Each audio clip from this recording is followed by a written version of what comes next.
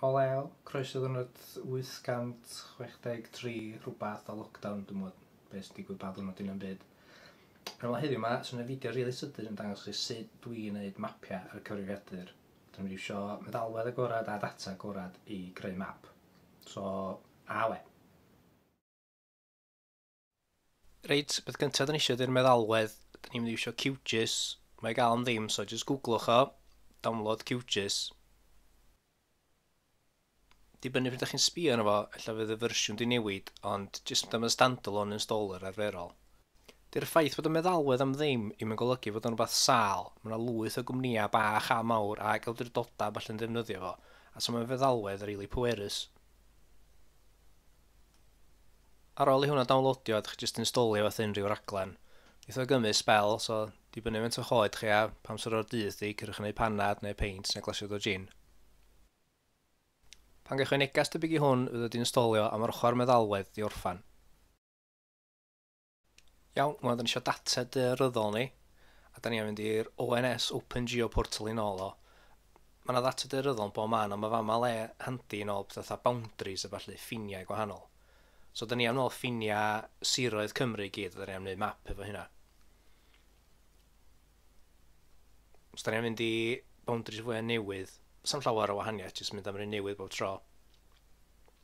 Mae yna ddau wahanol fath BFC a BFE, a fe mynd gyda'i teid mewn a teid allan. Ddau yn mynd am yr BFE bob tro. Mae'n jyst edrach o well, dwi'n meddwl. So ar ôl sgrin yma lwytho, chi'n gweld nhw i gyd yna. Chi'n checio bod o gyd yn edrych yn iawn o bod chi'n dewis ar un cywir.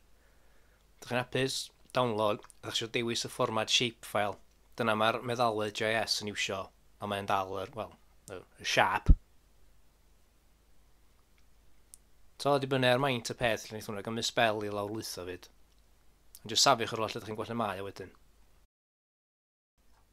O, ni di mo creu map o coronavirus misil sir, ond ni i mo, mae'n neis jyst cael brec o coronavirus weithiau. So, dwi am wneud map o canran pobl sy'n siarad Cymraeg yn bob sir wedi seilio ar data'r cyfrifiad. Mae'n siŵr bod chdi gweld fersiwn o'r map yma blaen. Mae wedi bod ar y west llawer gwaith. So, wefan Stats Cymru di hwn. Mae yna lwyth o wybodaeth am bob agwedd o Gymru yma. Da ni yn mynd i data'r cyfrifiad a nôl yr data yma fesul awdurdod. Hwn da ni'n mynd i wsio i adeiladu map ni. So, mae gen i enwau'n awdurdodau i gyd ar canrannau sy'n siarad Cymraeg. Mae yna fotwm ar y wefan i allforio'r data mae i gyd. Dewiswch y fformat CSV. Ar ôl chi safio, mae werth agor o mewn rhywbeth fatha Excel neu Notepad, jyst i double checkio bod yn edrych yn iawn. Weithiau maen nhw'n adio rhyw ddata rhyfedd neu maen nhw'n dweud spaces neu gaps mewn llyfr gwahanol. So mae fo yn Excel wedi cael ei twtio fyny gyd. Na i gynnwys link i'r ffeil yma ar shapefiles o bob dim o dan y fideo yma na i byndlo fe gyd os ydych chi pryd ddiog yn mynd i'n ôl o'ch hunan, fydda i wedi sortio chi allan. Iawn, mae'n amser ar y bob dim at ei gilydd. So, fo prosiect gwag newydd yn Cwgis, nawn ni adio'n siapiau siroedd yn ei gyntaf.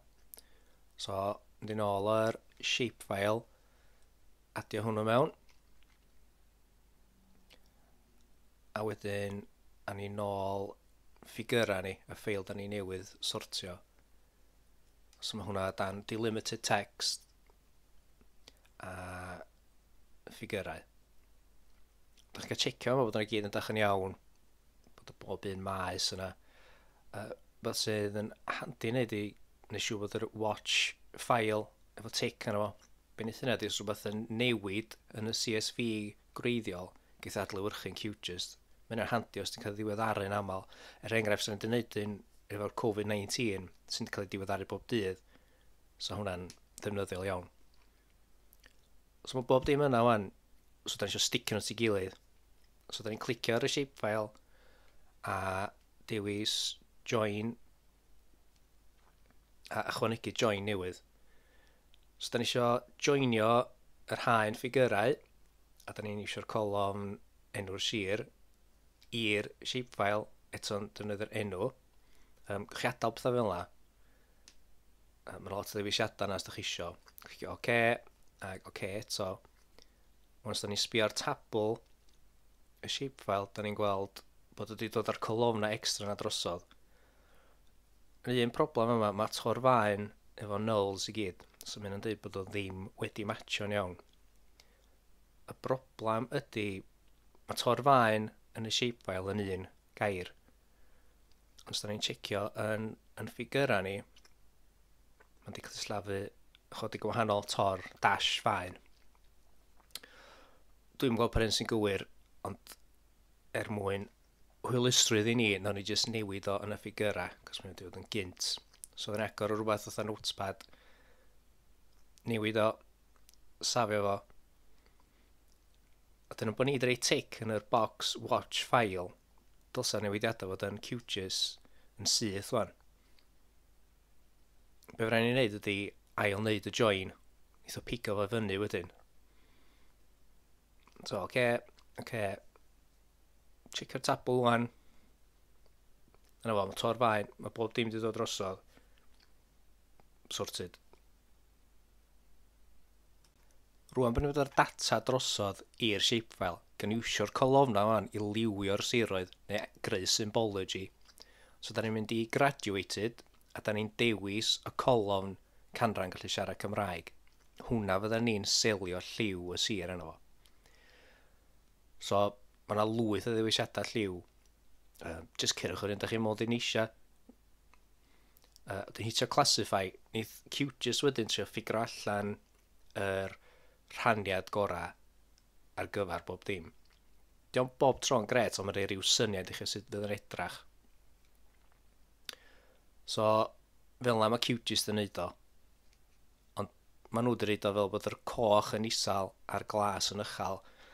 A fel arfer, ffordd arall rownd da ni'n gael o bod yr coch yn hotspot. So, na ni flipio'r lliwiau drosodd.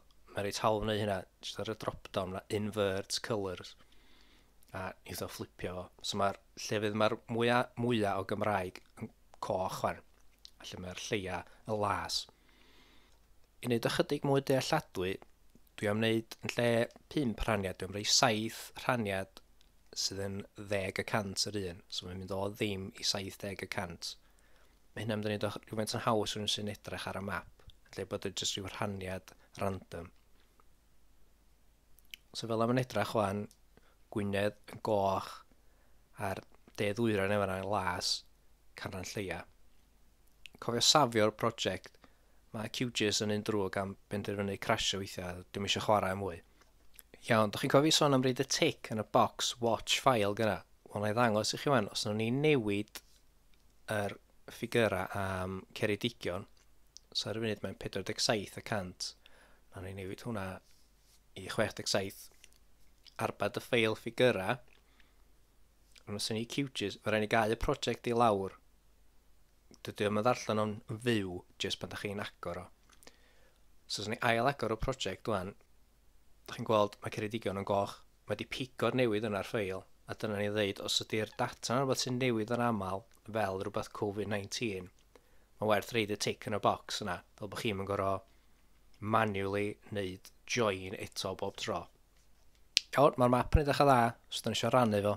So ni new print layout, just clicio OK, ac y fama da ni'n adeiladu'r llun da ni am rannu fo pob.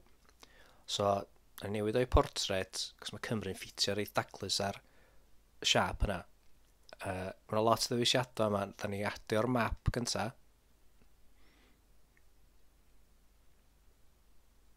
a da ni ffitio fo mewn fel bod o'n llenwi'r tudalen reit da.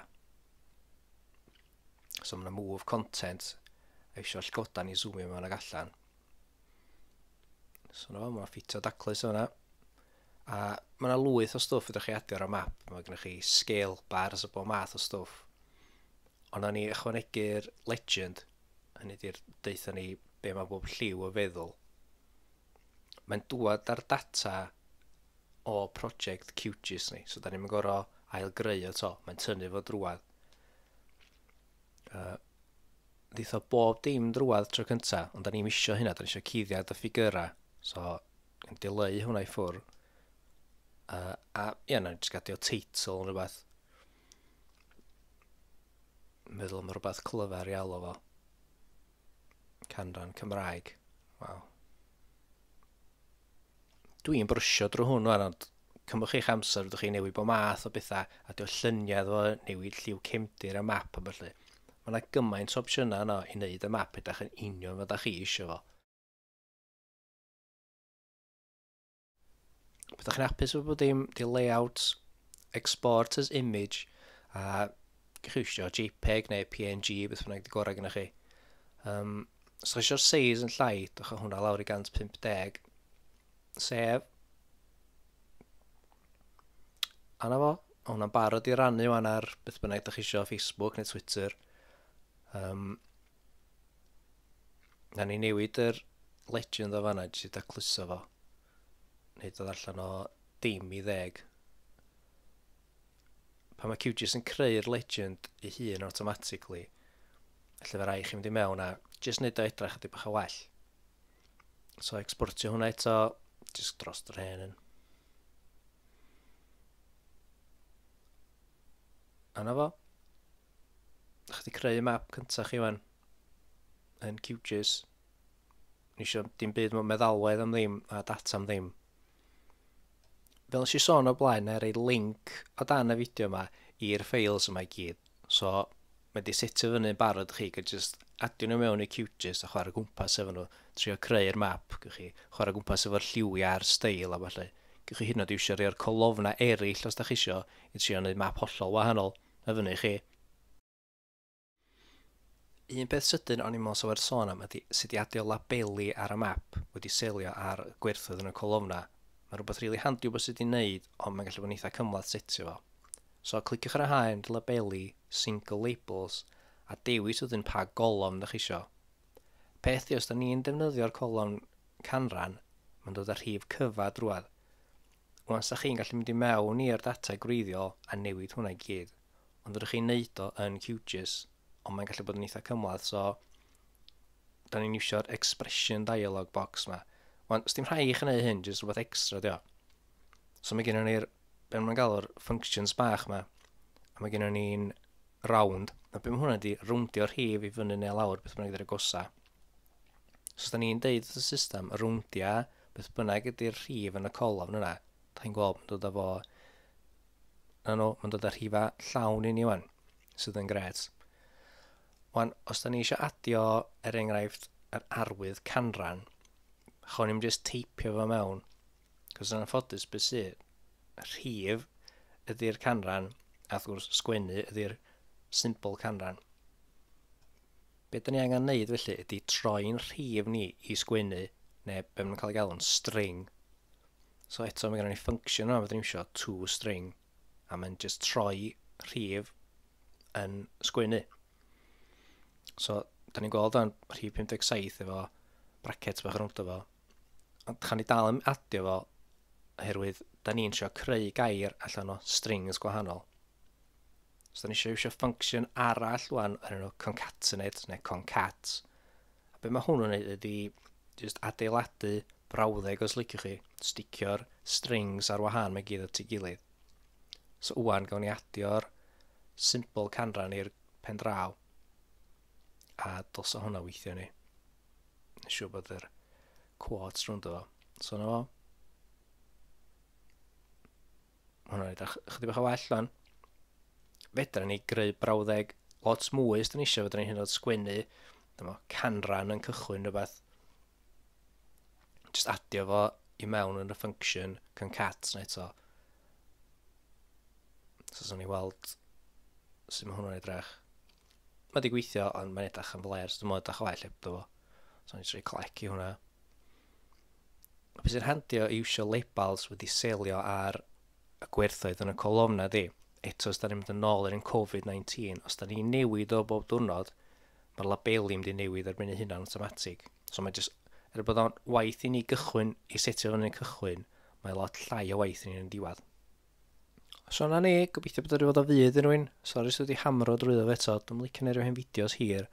Os gennych chi gwestiynau, jyst rhwch nhw'n gwylod y fideo neu rhwch nhw fi ar Twitter nhw beth. Um, Wel, na chi wedyn, da!